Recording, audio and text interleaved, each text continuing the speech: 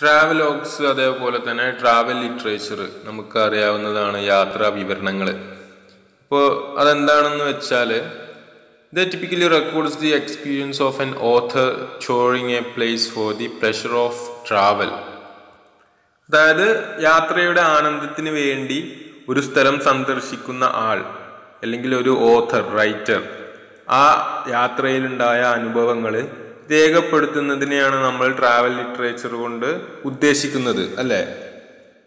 അപ്പോൾ ഇത്തരം വ്യക്തികളുടെ കൃതികളെ നമ്മൾ ട്രാവലോഗ് എന്നും അല്ലെങ്കിൽ ഐറ്റിനറി എന്നും ഒക്കെ പറയാറുണ്ട്.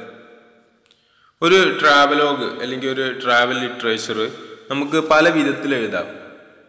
മേ ബി ക്രോസ് കൾച്ചറൽ അല്ലെങ്കിൽ ട്രാൻസ് നാഷണൽ ഇങ്ങനെ പല വിധത്തിൽ ഫോക്കസ് ചെയ്തിട്ട് നമുക്ക് എഴുതാവുന്നതാണ്. അപ്പോൾ ക്രോസ് കൾച്ചറൽ എന്ന് പറയുന്നത് പല സംസ്കാരങ്ങളെ കുറിച്ചുള്ളതാകാം. അതാണ് ക്രോസ് കൾച്ചറൽ കൊണ്ട് നമ്മൾ ഉദ്ദേശിക്കുന്നത്. അതായത് ഒരു രാജ്യത്ത് തന്നെ പല കൾച്ചറൽ ഗ്രൂപ്പ്സ് ഉണ്ടെങ്കിൽ for example India.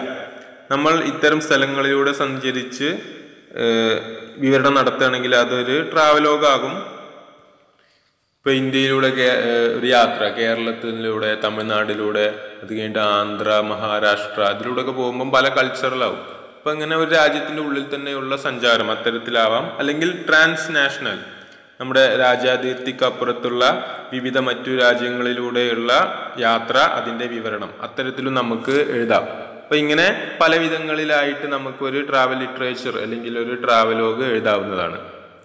Examples of travel literature നമ്മൾ എടുത്ത് നോക്കുകയാണെങ്കിൽ ഇപ്പോൾ കുറച്ച് പഴയത് പറയുകയാണെങ്കിൽ പൊസാനിയസിന്റെ ഡിസ്ക്രിപ്ഷൻ ഓഫ് ഗ്രീസ് അത് നമുക്ക് പറയാം.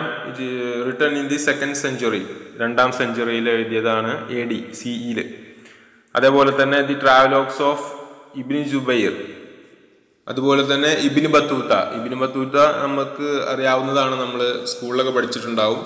Both of whom record their travels across the known world in detail ഇപ്പൊ ഇത്തരം യാത്ര യാത്രക്കാരൊക്കെ അവർ പോയ സന്ദർശിച്ച സ്ഥലങ്ങളെ കുറിച്ചിട്ടുള്ള അവരുടെ യാത്രാ വിവരണങ്ങൾ രേഖപ്പെടുത്തിയിട്ടുള്ള വ്യക്തികളാണ്. പിന്നീട് കുറച്ചുകൂടി കാലങ്ങൾ കഴിഞ്ഞപ്പോൾ ഒരു എയ്റ്റീൻത് സെഞ്ചുറിക്ക് ആയപ്പോൾ travel literature was commonly known as the book of travels ആ ഒരു ട്രാവൽ ലിറ്ററേച്ചറിനെ ദി ബുക്ക് ഓഫ് ട്രാവൽസ് എന്ന് പറഞ്ഞിട്ടുള്ള ഒരു വിഭാഗത്തിൽ എന്ന ഒരു പേരിലാണ് അറിയപ്പെട്ടിട്ടുണ്ടായിരുന്നത്. Which mainly consist of maritime diaries കടൽ യാത്രയുമായിട്ട് സംബന്ധിച്ച ബന്ധപ്പെട്ടിട്ടുള്ള ഡയറീസ് അതായിരുന്നു ഇത്തരം ദി ബുക്ക് ഓഫ് ട്രാവൽസിൽ മെയിൻ ആയിട്ടുണ്ടായിരുന്നത് പിന്നീട് you can also find fictional travelogues fictional ട്രാവലോഗ്സും പിന്നീട് വരുന്നുണ്ട്. ഇപ്പോൾ യഥാർത്ഥ സംഭവങ്ങളെ ആസ്പദമാക്കിയിട്ടല്ലാത്ത ഇത്തരം ഫിക്ഷണൽ ട്രാവലോഗ്സും പിന്നീട് വരുന്നുണ്ട്. ഇതിൽ തന്നെ many fictional works of travel literature are based on factual journeys യഥാർത്ഥ യാത്ര കപ്പൽ യാത്രയോ അല്ലെങ്കിൽ അതുപോലെയുള്ള യാത്രകളെ ബേസ് ചെയ്തിട്ട് എഴുതിയതായിരുന്നു. മിക്ക ഫിക്ഷണൽ വർക്ക്സും അതിന് ഉദാഹരണമായിട്ട് നമ്മൾ പറയുകയാണെങ്കിൽ Joseph Conrad's Heart of Darkness എന്ന് പറഞ്ഞിട്ടുള്ള ആ ഒരു നോവൽ അതേപോലെ തന്നെ ഹോമറിന്റെ ഒഡീസി ഇത് രണ്ടും ഇത്തരത്തിലുള്ള ഒരു യഥാർത്ഥ യാത്രയിൽ കുറച്ച് ഫിക്ഷന് ചേർത്ത് എഴുതിണ്ടാക്കിയതാണ്.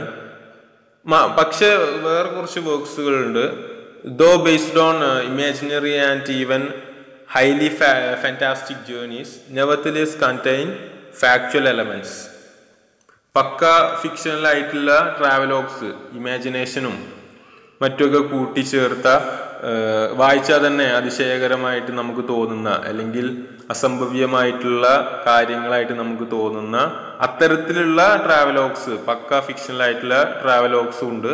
പക്ഷെ നവർദലിസ് കണ്ടെയ്ൻ ഫാക്ച്വൽ എലമെന്റ്സ് എന്നാലും അതിൽ കുറച്ചൊക്കെ ഫാക്ച്വൽ എലമെന്റ്സ് നമുക്ക് കാണാൻ കഴിയും. നേരത്തെ പറഞ്ഞതിന്റെ അത്ര ഉണ്ടാവില്ല വളരെ കുറഞ്ഞ രീതിയിൽ ഫോർ ഇൻസ്റ്റൻസ് നമ്മൾ പറയുകയാണെങ്കിൽ ഡാൻഡേഴ്സ് ഡിവൈൻ കോമഡി അതേപോലെ തന്നെ ജൊനാഥൻ സിഫ്സിന്റെ ഗലിവേഴ്സ് ട്രാവൽസ്